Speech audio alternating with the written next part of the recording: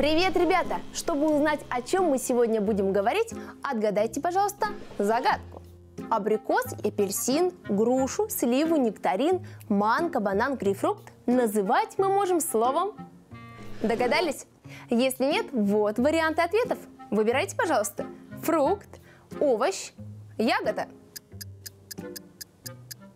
Хм.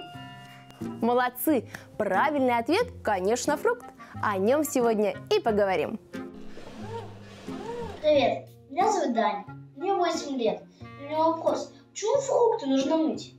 Даня, отличный вопрос. Отвечать на него будем вместе с моим другом Умникусом. Знакомься, пожалуйста, и кандидатом медицинских наук Евгением Ефременко. Ну что, начнем?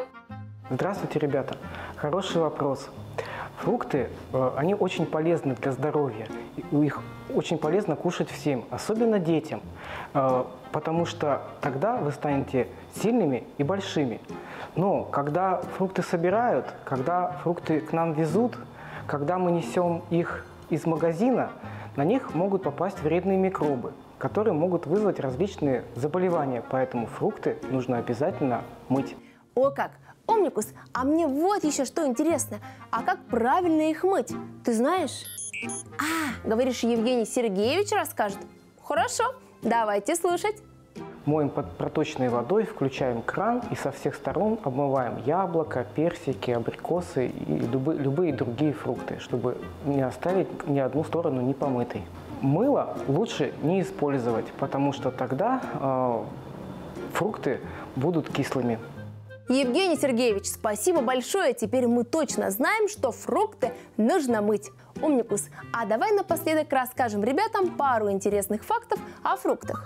Говорят, что оранжевый цвет был назван в честь фрукта апельсина, а не наоборот. До этого подобный цвет назывался геолуриат, что означает желто-красный. Трудно поверить, правда? Идем дальше. В Японии фрукты часто дарят в качестве подарков между членами семьи, друзьями, коллегами и деловыми партнерами. Они рассматриваются как роскошь, и чем идеальнее подаренный фрукт, тем больше запомнится подарок. А вот еще каждое яблоко Грэнни Смит произошло от одной яблони из Австралии. Грэнни Смит в переводе означает «бабуля Смит». Это реальный человек. Она вывела гибридное яблоко, которое мы теперь знаем и любим. Ну что, ребята, мы на ваш вопрос ответили. Теперь вы на наш ответьте, пожалуйста. Правда ли, что фрукты нужно мыть под проточной водой?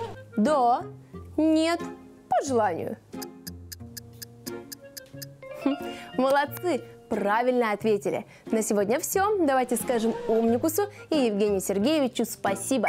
Интересуйтесь новым, задавайте вопросы и вместе будем искать ответы. До новых встреч в эфире. Пока-пока!